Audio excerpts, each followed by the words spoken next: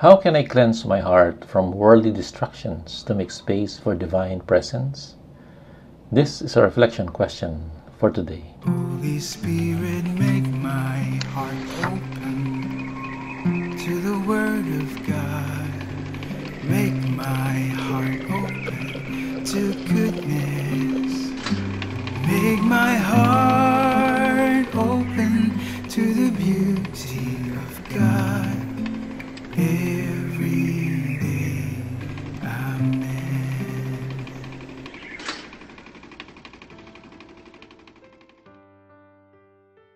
Do you know the story about Saint Bernard of Clairvaux? Saint Bernard of Clairvaux is one of the few saints in church history to have a papal encyclical written about him. The Pope declared Bernard Doctor Mellifluus, the honey sweet doctor for his unparalleled eloquence. Bernard was an exceptionally influential author, a persuasive negotiator, and a steely willed reformer. His massive commentary on the biblical Song of Songs stands among the greatest works of spiritual and exegetical literature in the medieval Western Christian tradition. One day, St. Bernard was traveling with a poor, uneducated farmer. When the farmer noticed that the abbot kept his eyes cast downward, when the farmer asked why the saint wasn't looking at the beautiful countryside, Bernard explained he wanted to avoid the distractions while praying.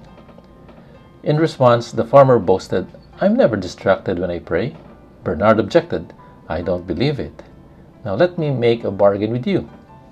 If you can say the Our Father without one distraction, I'll give you this mule I'm riding. But if you don't succeed, you must come with me and be a monk. The farmer agreed and began praying aloud confidently, Our Father, who art in heaven, hallowed be thy name. Then, after pausing for a moment, he asked St. Bernard, Does that include the saddle and the bridle too? Almost everyone experiences distractions of some sort while praying, as St. Bernard managed to demonstrate to the farmer. The man ended up joining him in the monastery. We can also learn from St. Francis of Assisi. Whenever he was about to enter church for Mass or to pray, he would say, Worldly and frivolous thoughts, stay here at the door until I return. Then he would go inside and pray with complete devotion. Today's Gospel invites us to cleanse our hearts just like Jesus who cleared the temple from worldly distractions with zeal. Since the Passover of the Jews was near, Jesus went up to Jerusalem. He found in the temple area those who sold oxen, sheep, and doves, as well as the money changers seated there. He made a whip out of cords and drove them out, all out of the temple area, with the sheep and oxen, and spilled the coins of the money changers, and overturned their tables. And to those who sold doves, he said, Take these out of here, and stop making my Father's house a marketplace. His disciples recalled the words of Scripture Zeal for your house will consume me.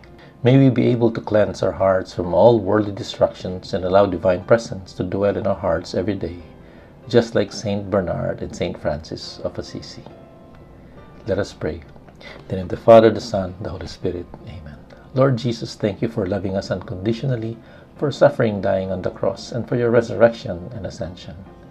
Please forgive us when we let ourselves be occupied by worldly desires and distractions. We humbly ask for your grace to enable us to pray, just like St. Bernard and St. Francis of Assisi, with zeal and complete devotion, and make our body truly the temple of the Holy Spirit. Breathe in me, Holy Spirit, that my thoughts may all be holy. Act in me, Holy Spirit, that my work too may be holy. Draw my heart, O Holy Spirit, that I love but what is holy. Strengthen me, Holy Spirit, to defend all that is holy. Guard me then, O Holy Spirit, that I always may be holy. Amen.